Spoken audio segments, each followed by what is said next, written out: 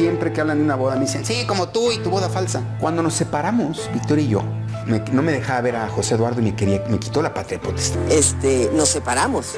Eh, el único vínculo que hay es José Eduardo con él. Cumplió como padre. Cada quien lo tendrá en su conciencia y cada quien sabe quién. Hace aproximadamente un mes, a través de un video, Eugenio Derbez confesó que estaba realmente sentido por la información que se había difundido a lo largo de los años sobre su supuesto matrimonio con la gran actriz Victoria Rufo. El actor y productor mexicano explicó su versión y aclaró que ellos únicamente tuvieron una fiesta con temática de boda, que él realizó esto solo con el objetivo de entregarle, de una manera más romántica, el anillo a la actriz, Hasta la fecha, todo mundo, siempre que hablan de una boda me dicen, sí, como tú y tu boda falsa. Fue durante una entrevista con Jordi Rosado que Eugenio Derbez reveló algunos nombres de varios amigos y conocidos que estuvieron presentes en esa fiesta. Entre ellos, Eugenio Derbez nombró al actor Marcial Casale. Él fungió como sacerdote para poder oficiar la presunta ceremonia religiosa.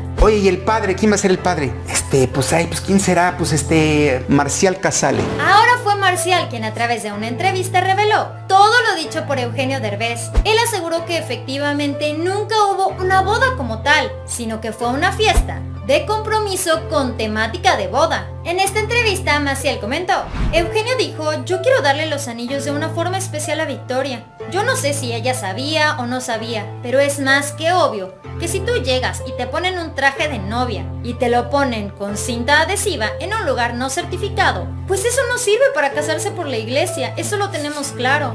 Una fiesta de, de disfraces tipo boda y ahí le entrego el anillo y hacemos una ceremonia padre. Maciel detalló que durante esa fiesta a él lo disfrazaron de sacerdote. Él ofició la presunta ceremonia religiosa, donde por cierto no existieron los elementos sagrados, ni los elementos generales de una ceremonia católica. Yo sí te doy nombres porque yo sí tengo la verdad en mi boca.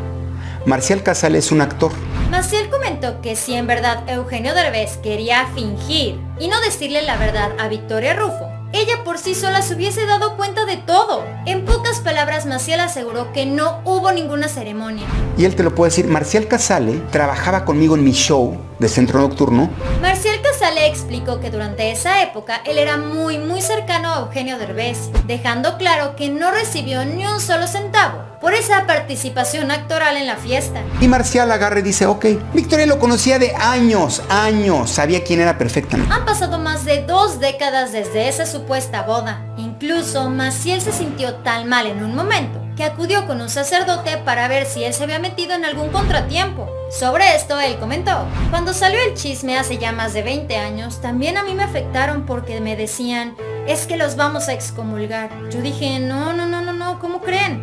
Yo hablé con un padre y me dijo, no te pueden excomulgar porque no hiciste nada. Yo nunca en mi vida me prestaría a hacer una farsa de ese tipo porque yo soy católico. Esto fue Famosos de Cerca. Dale like a este video, suscríbete y síguenos en Facebook.